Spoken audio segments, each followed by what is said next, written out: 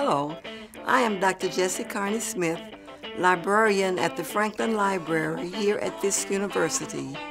As the editor of several books of short biographies, such as Notable Black American Women, published by Gale Research, I have had the privilege to research the lives of some fascinating people, none more colorful than that of stagecoach Mary Fields.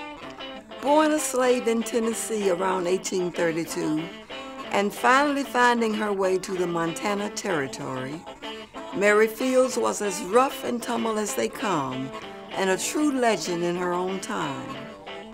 Here on Nashville Digital Magazine, we'll take a brief look at what an encounter with this imposing, powerful woman might have been like.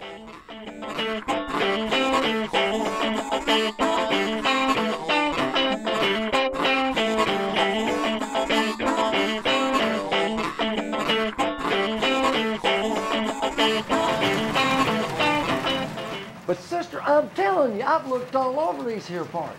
And ain't nobody that's got time to do no hauling for the government. All the good drivers is trying to get their crops up before winter sets in. And you come here saying, you got the answer to my prayer.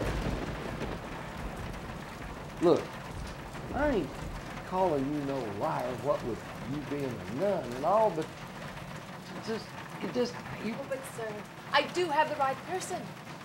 They'll be along directly. And yes, they are the answer to your prayers. The Lord does work in mysterious ways, you know.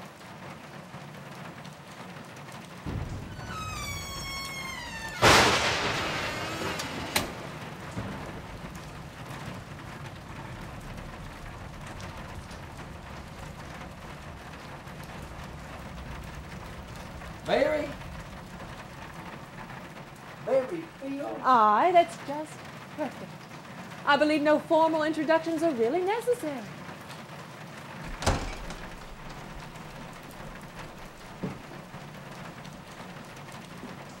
Sir, I's the one you done heard about. And what I'm about to tell you is the natural fact. Well, I can outshoot any man in these here parts, oh, or his daddy. Well, I can shoot the dive off a newborn neck at 300 yards, and it won't even have to wipe itself. Well, I can outwork 10 mules you know, and some you don't know. Well, I can out smoke, out drink, and out cuss any two-legged fool you ever seen walking. Oh, Mary, will you behave yourself? Sir, I've been trying to teach her manners. But it just seems to me sometimes it's a hopeless cause. I hope you won't. No, no, no, no. Heck no. I don't want to hear no more about it. No way, no how. You could be joshing me, sister. And ain't no parts of your little joke the least bit funny. Get me a hope Can't no woman do no rag. I uh, can too, hell, this here job ain't other job. The mail of the passengers just got to get through. I's the one to get them there.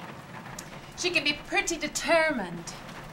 And I can completely vouch for her honesty. Look, I I don't want no part of this. But what the hell? Oh, look, I I got mail that's got to leave right now. Right now. But you can't send man nor beast out in this storm. I didn't think no. I ain't afraid of no hard work. And I sure ain't afraid of no little bitty storm. The only thing I fear is the Almighty Himself. Well, I leave right now. Where's the team hitch? Oh, but Mary. Now, don't you fret none. It's be fine by and by. With the good Lord's help and your prayers, we'll pass safely over these here waters.